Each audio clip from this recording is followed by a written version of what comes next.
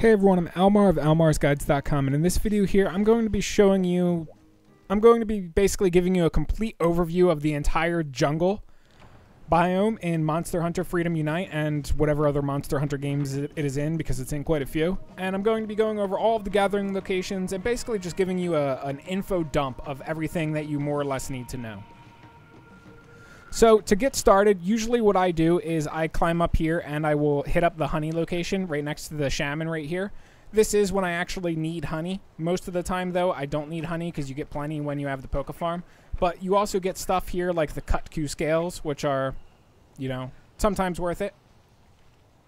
So that location is number one. Actually, let's uh, let's jump down and do these in order. We'll do number one and then two, then three, then four. Oh, come on, jump off. Let me eat a well done steak. So, if this is your, um, if you're doing the gathering quest, then you should bring steaks with you or something to restore your stamina or increase your stamina because depending on how long you're out here, you may need it. So, over here is mushrooms. One thing um, I guess I should say at the start of this video is there are so many gathering locations in the jungle that you're not going to be able to hit them all. This is going to be one of those areas that you should specialize in what you want to gather. Figure out what you want to gather. Like if you want to gather mines or minerals, then you know you bring your pickaxes and you hit up all of the mines, and then you hit up you know a few other locations that you need. If you want to gather bugs, then you bring your bug nets and you hit up the three bug locations that are in this biome, and so on and so forth.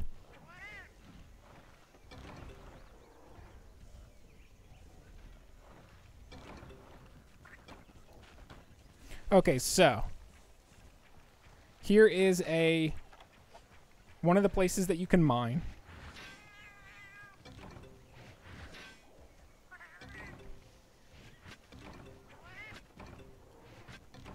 As you can see, it's mostly all low-level materials. I don't really care for anything that it gives me, so I'm not going to mine it until I'm done. I want mega pickaxes for other stuff. There's also um, an herb gathering location that you can get over here. Also, I will say this in all of my, there we go, in all of my gathering videos. I realize, depending on where you live in the world, the word herb is pronounced differently.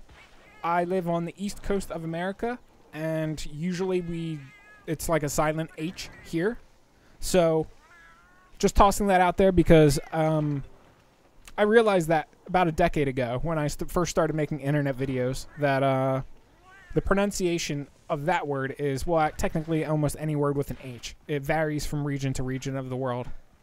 So, just getting ahead of all of the comments that say I'm pronouncing it wrong, I would like to say that pronunciations are subjective. And it varies depending on, you know, where you're from. Like in England, in, in England, they don't ask for a bottle of water. They say bottle water. There you go. Which one is right? Which one is wrong? I'm sure people in, in England will say that ours is wrong and theirs is right. Silly arguments, all subjective, waste of time. Anyway, here is another herb location, or herb location. Herb. However you want to pronounce it. I need some herbs with my herbal tea. It's kind of funny. We, we when we're saying herb, we won't pronounce the H, but when we're saying herbal tea, we will pronounce the H. Funny how that shit works. So that is one location right over there. And there should be a seed location too.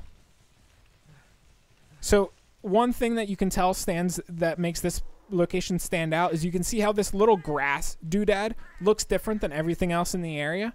That's how you can tell that you can gather there. Or one of the ways you can tell. And here's a location that you can't really see. Like it you know, nothing here really aside from the there being a lighter spot here. That's the only way that you can tell that you can gather there. So, here's a, one of the bug locations. Bug locations, you can always tell where they are because they'll have these little fireflies flying around in the area, and they're pretty easy to pinpoint and notice.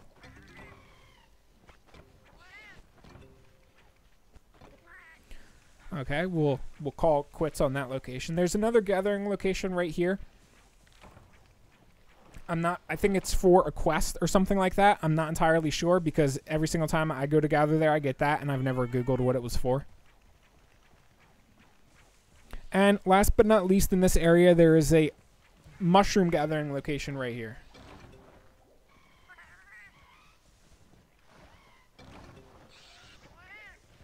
Did that Kelbi just attack? No, he didn't.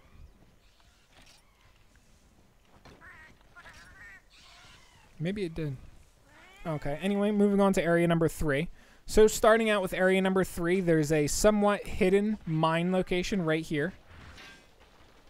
Again, though, as far as mining in the jungle goes, I would really avoid it. There's uh, if you want mines, minerals, I would recommend the volcano, just hands down, or the Pokke Farm because the Pokke Farm gives you like everything you need anyway, and the volcano gives you rare stuff that the Pokke Farm either doesn't give you, very rarely gives you, or uh, you like you need a higher upgrade than what you currently have at the Pokke Farm in order to mine the other stuff, if that makes sense. Here's another one of the bug locations. You can see the fireflies floating around in the in the air. And then, as you can see, Mr. Crab, he's um, not very happy with us for stealing his bugs. And let's see. There is a... We got the mine, we got the... Well, the only thing we missed is the bait location. And I think the bait location is in the water? I'm not sure. Oh, nope, it's over here, sorry. It's by the rock over here, that's right. So right here is a location where if you ever need bait, you can gather it. Uh, let's do area number 10 since that is closest to area number 3. So over here is a miscellaneous gathering location. You can tell by the seashell right here. That's how you can tell where it is. And uh, I'm going to actually take the beautiful shell right there you get mostly crap from this location. You get you'll get like stones or you'll get account items, and uh, that's really it. And you have to sometimes deal with Mr. Crab.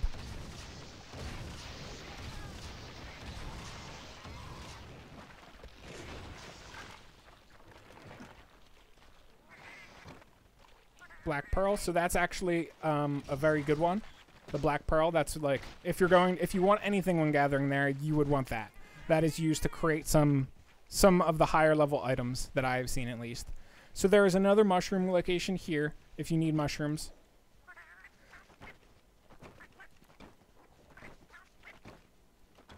Nice. Lots of special mushrooms which are good because they're used they're account items. So over here we have more fireflies.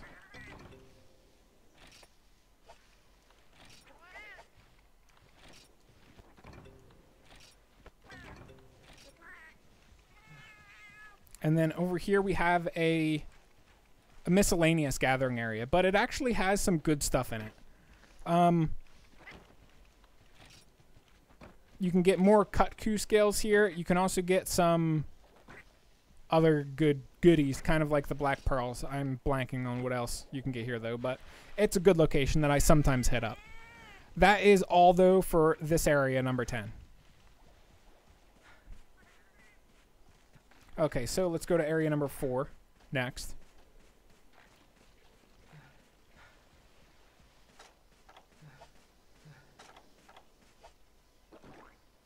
We'll use some of these herbs. So this area I generally skip every single time because it's just really nothing good here, for lack of better words.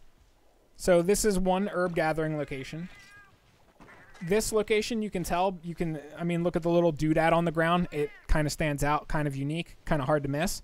So that is one, and then here's another one. You can tell uh, the doodad on the ground. And I this is the same one that I showed you earlier. The plant that looks kind of like a fern. This one over here looks kind of like a mushroom, I guess, but it it's still an herb gathering location, despite the fact that it looks like a mushroom. There is a mining location here too, right here. But again, I generally avoid mining locations in, when I'm in the jungle. And there is a gathering location in the water as well. If I can find it. I think it's up here, but I didn't see the shell. Where's the shell? Oh, there it is. Always when you're looking for the gathering locations in the water, pay attention to the seashell in the water. That is how you can easily find them.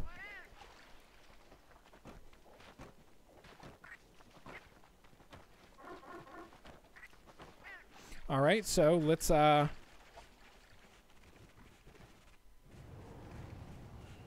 Good. I didn't bring the I didn't grab the ball pass, which is good.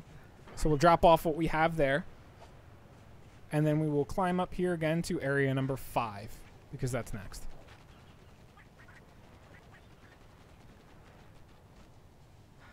Alrighty. So area number 5 is another one that I generally skip. There are multiple herb gathering locations here and multiple mushroom. So here's one of the herb gathering locations. Most of the items you get there, you just you don't need. If I'm being completely honest, you can buy a lot of them from vendors, and really, yeah, you just don't need them. Here's one of the mushroom gathering locations, and there is an herb gathering location over here, if I'm not mistaken. Sometimes the resource maps are wrong that I find online. Like I'm using the ones on Game FAQ, and I swear they uh they're inaccurate sometimes. So here's another mushroom gathering spot, not to be confused with that one over there. There's two in this area. And then there is one more herb gathering location over here by this tree.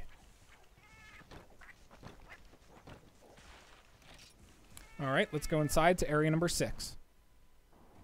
This location is one of the harder ones because there's always going to be enemies in here. A lot of times, too, when you're on other quests, there's going to be boss enemies in here. This is also like the lair where bosses go when they're injured to rest. So that's something to keep in mind. There is a herb gathering location here, as you can see. Or, sorry, a mushroom gathering location. So over here, you can gather herbs.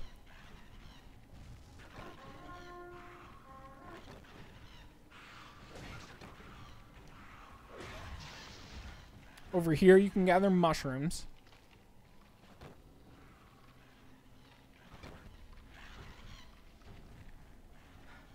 And right here, you can gather bones. So, bones are a little bit of a weird one, in my opinion. Um,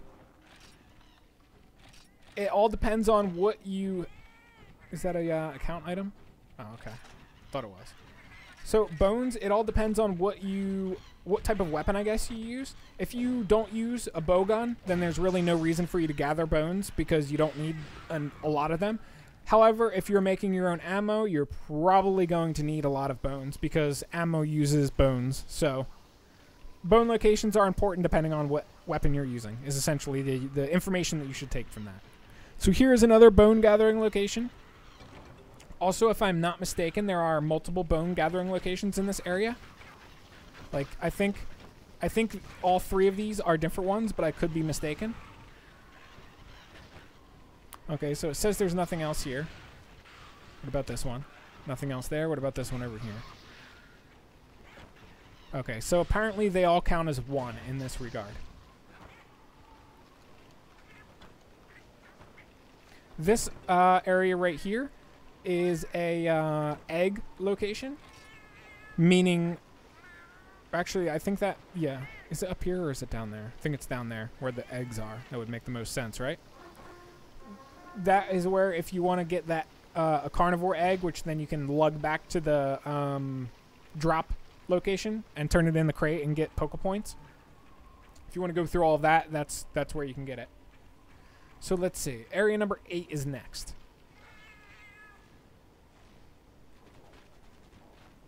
Let me do another well done steak since we're getting kind of low on stamina. That's one of the reasons you want to bring a well done steak with you. Or any food that recovers, you know, health. So now we're in area number eight. This location has a single mine, a single spot to mine, which is right here.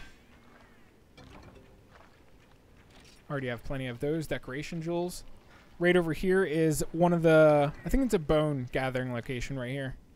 I don't think this is the egg location. One, I would say this area isn't worth doing. If uh, if, if you need bones, then it kind of is worth doing because there's not many bone gathering locations out there. However, the thing that I really, really, really hate about this location is the little cats that walk around here steal from you when they hit you. So it's just it's very, very annoying to deal with. a lot. I would say 90% of the time they steal shit. You don't have to, you know, it doesn't matter if they take it, but the other times they do, and it is annoying. So those two locations are, uh, and there's another bone location over here, if I'm not mistaken. Yep. Or this might be a garbage location.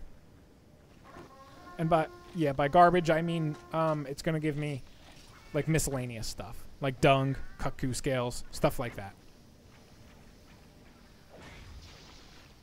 And area number nine is the last one that we need to, to cover. And then we're done.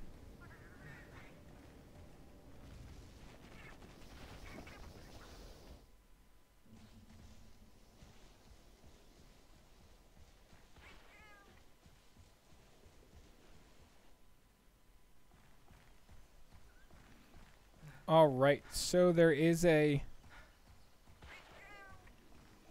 mining location over here, if I'm not mistaken.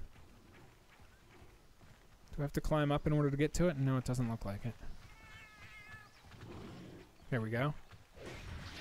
So right here, basically where the the two colors meet is the best way that I can think to describe it. Like see where the the gold meets the the plain So that is a mining location. Over here is a mushroom location. As you can see by the mushrooms on the ground. There will be uh, annoying enemies in here, like that Bulldrome guy that charges around. Something to keep in mind. Sometimes you're going to have to kill him if you want to safely gather, depending on how much gathering you're going to do in this area. Here is another mushroom location, as you can see. Mushrooms. And here's another honey location, as you can see the honey. And last but not least, technically we still have one more fishing location to show you, but there's a fishing location right here. You can see the little fishies in the water, and you can see that I can fish there. And then let's go to area number zero, which is essentially where the, the home base is for this area, because there's actually another fishing location that we can do there as well. So when you run on the boat like this and you go to the helm, you can see that there's a fishing location right here. There's some fish in the water too and everything. And that really is all there is to it. That is every location that I personally know of in the jungle. If I left any of them out or forgot anything or whatever it may be, please let me know in the comment section below. Always great to get everybody's feedback. And I will be doing another video aside from this one that will give you the optimal farming route for the jungle. So stay tuned for that because this just kind of gives you a complete information dump of the entire area where you can find shit and stuff like that. The optimal farming route is going to be what I personally do whenever I do a farming run through the jungle, and also an explanation of why I chose that farming route. But anyway, that's all there is to it. Hopefully this video helped you guys out. If it did, be sure to leave me a like because that helps me out. And aside from that, I will catch you guys around in future Monster Hunter Freedom Unite videos. Peace!